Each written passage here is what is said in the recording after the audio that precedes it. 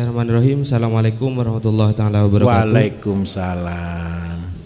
Ini sebelum bertanya, ya mohon maaf sebelumnya Pak. Mari. Saya ini anak petani, Iya. tapi dari kecil tidak pernah diajari tani. Oh iya, hampir semua begitu, Mas. gitu, Tenang saja.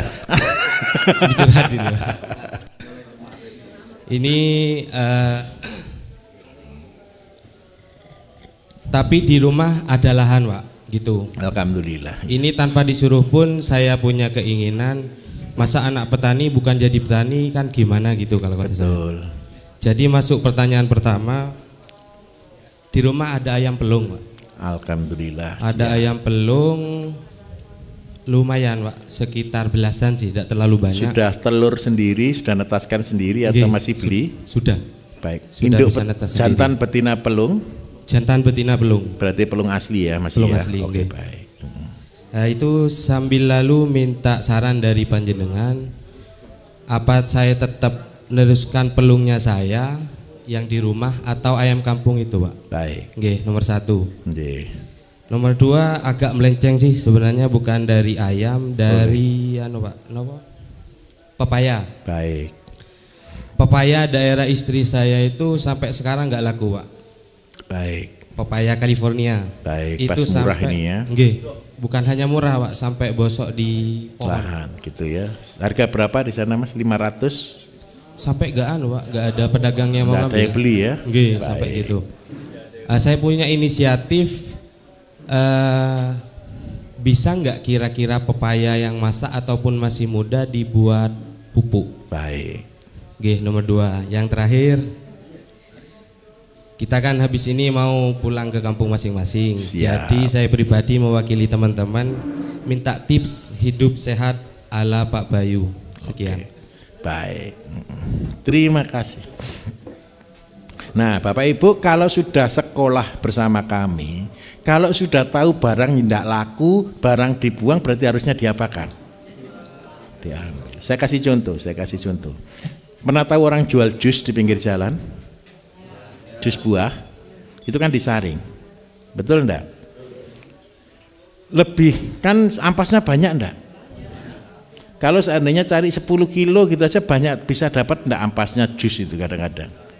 Hampir bisa tak kulit buah, biji dan sebagainya itu kan dibuang kan. Kalau seandainya habis buah 10 kilo berarti anggap aja jadi 40 porsi. 40 porsi kalau harga 5 ribu berarti 200 ribu. Untungnya dia paling banyak kan 100 ribu. Betul atau tidak? Sekarang saya buat ampasnya itu anggap aja 10 kilo, tinggal ditambah air kelapa berarti tambahnya 40 liter. Jadinya berapa? 50. Bapak Ibu olah jadi ZPT buah atau ZPT daun, ZPT buah lah karena banyak dari buah. Dengan harga 40 ribu. Ketemu berapa Bapak Ibu? Ini ini kali ini berapa ini? Ini tambah ini ya betul 50 ya. Berarti ketemu berapa ini?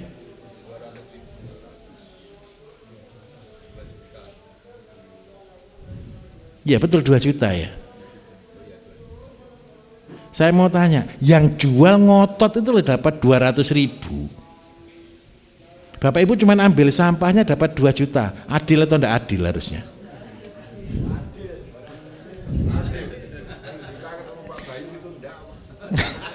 Saya diprotes orang, ujung-ujungnya kok ngajari duit semua toh Pak? Ya bukan gitu. Siapa yang mau itu yang berhasil.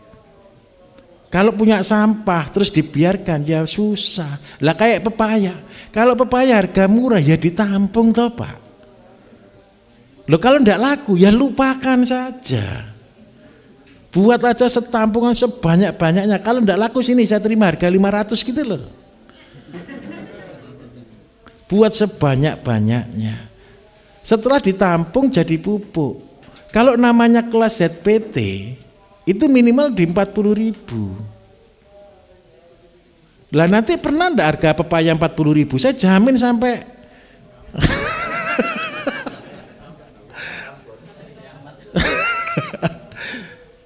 tidak akan pernah harga buah pepaya harga 40 ribu.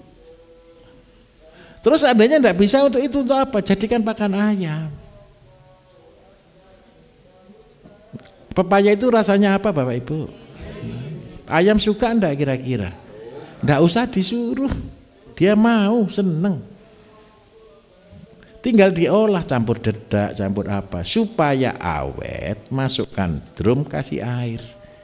Kalau seandainya pengawetan biasa pakai air leri, Pak air lerinya berapa? 5 ton. Ya jangan pakai air leri semuanya, pakai air dicampur dedak padi. Itu sudah jadi air leri. Dedak padinya berapa persen? 2 persen. Jadi per ton 20 kilo itu sudah jadi cuka. Masukkan di situ pepaya, Bapak cek, Bapak Ibu percek ya. Masukkan di situ pepaya, biarkan dua tahun tetap pepaya. Warnanya ndak berubah, rasanya berubah. Rasa warnanya ndak berubah. Gimana? Tapi nanti bisa dipakai untuk nutrisi. Bisa untuk nutrisi, bisa untuk pakan, bisa untuk macam-macam. Jadi itu diawetkan. Mas tolong beli mumpung pas murah sebanyak-banyaknya. Bilangnya begini, daripada ndak laku sini tak ganti gitu loh Mas. Kayak orang baik kan. Padahal dalam hati, oh saya bahagia sekali beli 500 dijual 40 ribu. Karena apa? Percayalah, nanti ketika harga pepaya naik, orang-orang berlomba-lomba buat pepaya lagi, betul atau tidak? Ketika mereka membuat lomba-lomba tanam pepaya lagi, butuh enggak pupuk untuk pepaya? butuh. Nanti belinya kesampaian. Sampai dalam hati dulu dia jual 500 karena dia beli 40 ya tapi gini ya harga itu terserah bapak ibu ya. Kalau boleh ya selevel murah lah boleh lah. Terus yang pertama tadi gimana tadi yang pertama tadi? Ayam baik. Ayam ayam pelung itu ayam kampung atau bukan ya kampungnya Jawa Barat kan tidak masalah Oh ya, saya lupa kemarin ngasih peraturan. Bapak Ibu, ini peraturan. Kan banyak orang komen di YouTube saya. Kalau ayamnya mati bagaimana jadi kubur? Yang betul adalah ayam dilarang sakit. Tolong di kandang dikasih tulisan ya besok ya. Penyakit dilarang masuk. Arti penyakit dilarang masuk itu nomor satu. Kalau Bapak Ibu sudah mulai ayam, jangan datangkan ayam. Saya ulangi ya. Kalau Bapak Ibu sudah mulai dari 10 ekor ayam, tidak boleh mendatangkan ayam lagi. Karena apa? Ketika ayam baru ini datang, Bapak Ibu belum tahu caranya, itu yang dia datang itu bukan datang ayamnya juga, sak penyakitnya juga dibawa. Itu nomor satu. Yang nomor dua, tamu boleh lihat, tidak boleh pegang. Pak masalahnya yang saya pelihara ini ayam maduan Pak. Jadi kalau keluar mesti dipegangi orang, yaitu resiko. Karena itu saya tidak nyarankan ayam maduan. Ayam kampung saja. Ayam kampung kan tidak perlu dipegang kan? Boleh dilihat, tidak boleh dipegang. Terus yang ketiga, minum jamu sebelum sakit. Jangan ngobati ayam pada waktu sakit. Jelas ya jamu dasar kute jagonya temulawak jahe. Kalau mau lebih lengkap kasih lempuyang, kasih macam-macam boleh. Kunci, jangan kunci saja ya. Tolong kunci jangan diikutkan di situ. Nanti rapat semua ayamnya. Singset semua nanti. Tidak jadi gemuk nanti ayam ini, jadi sispek nanti. kunci tolong dihindari. Yang lain-lainnya boleh. Terus yang berikutnya lagi, Bapak Ibu kalau makan ayam, ini saya minta maaf yang kata ini ternyata tidak kebagian ayam organik karena untuk besok tidak cukup ternyata ayam kita. Biasanya setiap angkatan itu ada stok. Ini ayamnya terlalu kepotong gara-gara kemarin hari raya Pak, minta maaf. Jadi gini ceritanya. Bapak Ibu kalau motong ayam itu dibumbui enggak setelah dipotong? Pasti kan? Besok ketika Bapak Ibu sudah pelihara sendiri, ayam itu sudah dibumbui waktu dia hidup. Apa yang membedakan ayam kita dengan ayam di luar adalah dipotong, dicuci, digoreng tanpa bumbu.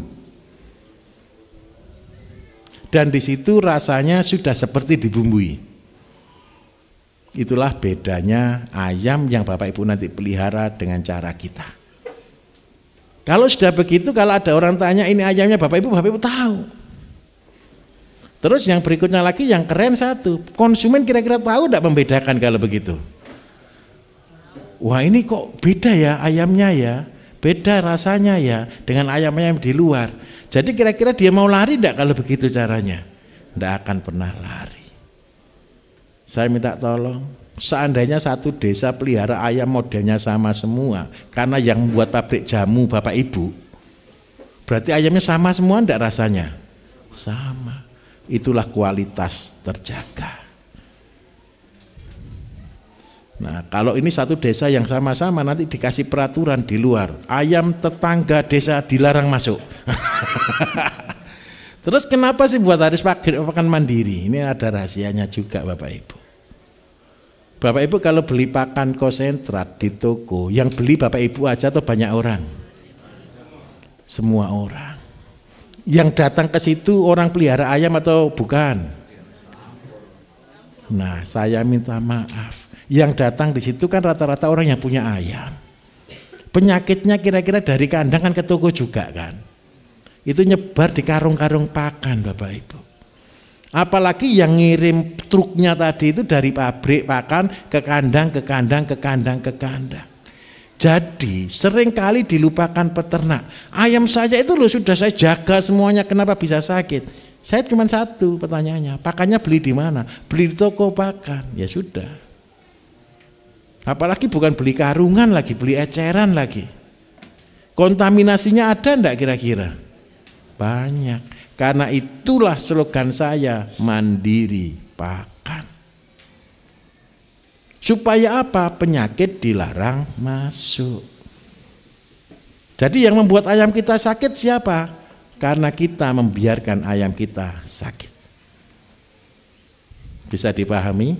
Kalau begini ceritanya Bapak Ibu, saya minta maaf. Saya pelihara ayam tahunan, puluhan tahun. Tidak pernah kena sakit. Ayam saya sakit itu pertama tahun 2010. Pada waktu kambing saya mati semua, bebek 3000 mati semua, puyuh 20.000 mati semua. Itu aja yang buat saya shock. Saya pelihara bebek dari 10 ekor sampai jadi induk 4000 Bapak Ibu. Itu habis kena waktu itu kena flu burung. Habis bebeknya habis, puyuhnya juga habis.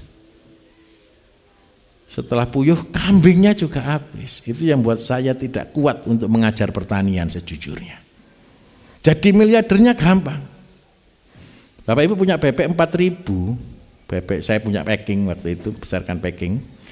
Itu sudah besar omsetnya. 4000 itu setiap bulan itu bisa minimal 40 ribu telur. Kita buat DOD itu minimal di 30 ribu setiap bulan.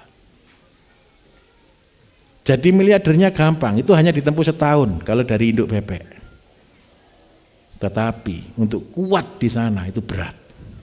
Pakan setiap bulan tidak cukup 60-70 juta soalnya. Ada macetnya sedikit Bapak Ibu, kita roboh.